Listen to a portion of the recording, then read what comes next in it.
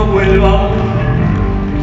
Si lo mismo vas a hacer, no vuelva. Si te parece cambiar de manera de pensar,